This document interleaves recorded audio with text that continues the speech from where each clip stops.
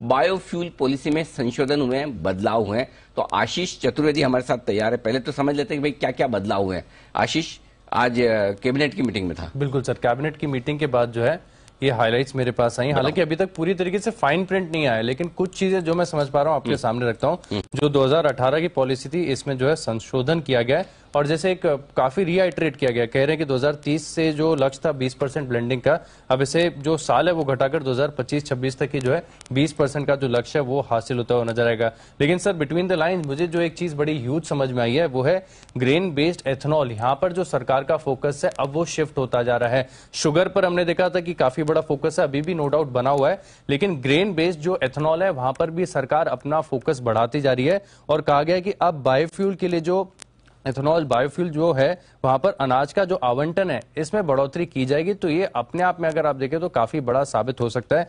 वैसे भी मैं देख रहा था कि कीमतों के लिहाज से भी देखें तो सरकार को जो है शुगर बेस्ड एथेनॉल से ज़्यादा, जो ग्रेन बेस्ड एथेनॉल है, वो इनके लिए ज़्यादा फ़ायदेमंद होता है। और यहाँ पर कुछ खबरें भी हैं मेरे पास जो ऐसे बता रही कि आगे जाकर जो ग्रेन बेस्ड एथेनॉल्स हैं, वहाँ पर करीब करीब दो से तीन रुपए प्रति लीटर कीमतें जो है, वो बढ़ सकती हैं। तो ये एक बड़ा फैसला जो है, सरकार की तरफ़ से आता हुआ नज़र आ सकता है, जिसके चलते आपको देखना है, कुछ स्टॉक्स जो अपने रिडार पर आपको रखना चाहिए। सबसे पहले, सबसे बड़ा इंपैक्ट है, सर, और वैसे बाज़ार ने इसको पूरी तरीके से अभी तक फैक्टर इन किया नहीं है। बीसीएल इंडस्ट्रीज़ यहाँ पर नज़र रखिएगा, क्योंकि ग्रेन बेस्ड पे जो है एथेनॉल पर ये बहुत बड़ा काम कर रहे हैं। और एफ़ आई तक जो अपनी क्षमता है, इसमें काफ़ी बड़ी बढ़ोतरी कर रहे हैं। Seven point three crore litres अभी फ़िलहाल है, जो एफ़ आई के अंत तक करीब करीब 26 करोड़ लीटर हो जाएगी।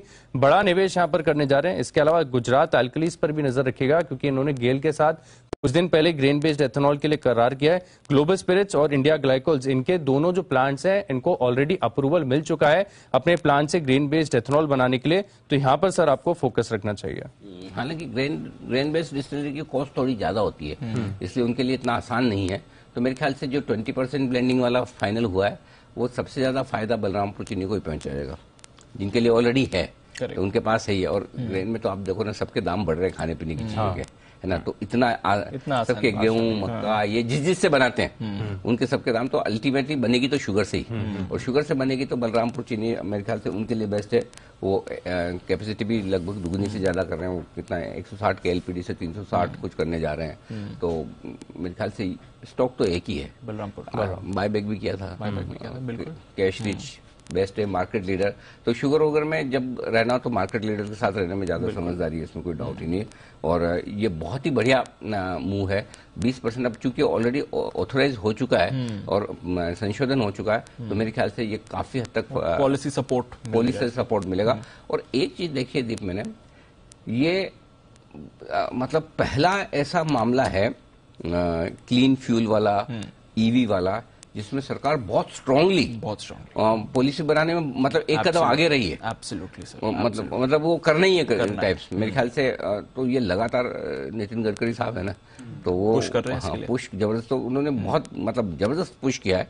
तो आई थिंक ये है वो स्टॉक जो एक्शन में और हम्म। कल भी हम बात कर भी रहे थे 420 22 के आसपास एक बड़ा ब्रेकआउट हुआ है। तो 430 के ऊपर निकलता हुआ आपके लिए ये स्टॉक और जरा एक बार सुमित जी से चार्ज पर राय ली जाए। बलरामपुर चीनी सुमित जी बताइए। हाँ जी मुझे लग रहा है कि ये स्टॉक के अंदर पोजीशन होल्ड करके चले। स्टॉक एक गिरावट के बाद वापस से आपको दिखाने का शुरुआत किया है और 200 हंड्रेड डीएमए लेवल से ये पलटा है ऊपर की तरफ़। 428 430 के आसपास पोजीशन होल्ड करें, कोई भी डिप आता है तो फ्रेश खरीदारी करें।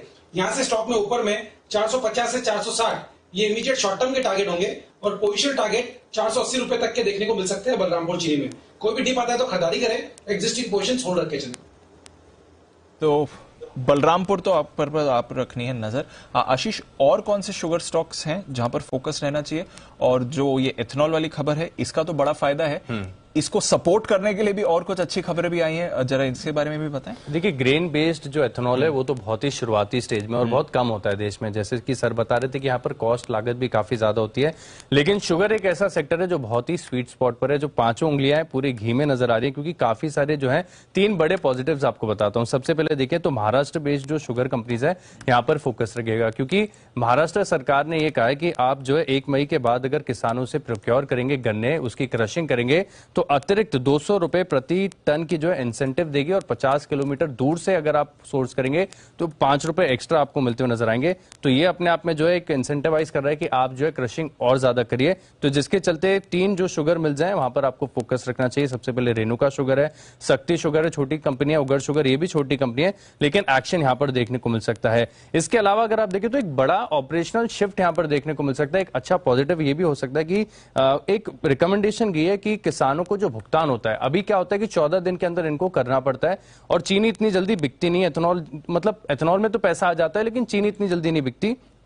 तो इसको मिल्स के लिए और आसान बनाने के लिए क्या कर दिया गया है कि आप जो है तीन किश्तों में किसानों का पैसा देंगे। तो यहाँ पर भी अगर आप देखें तो ये भी काफ़ी अच्छा पॉजिटिव है, जिसके चलते इनकी वर्किंग कैपिटल लोड जो है वर्किंग कैपिटल रिक्वायरमेंट है, वो कम होती हुई नज़र आएगी, क्योंकि आपको किसानों को जो पैसा है, अब तीन किश्तों में देना होगा।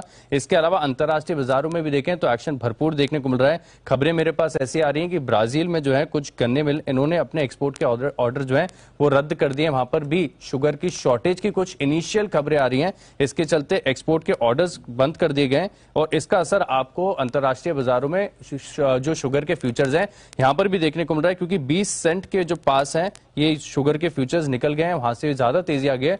तो शुगर अगर आप देखें तो बहुत ही स्वीट स्पॉट पर है। हम्म तो शुगर बहुत ही बढ़िया स्पॉट पर है।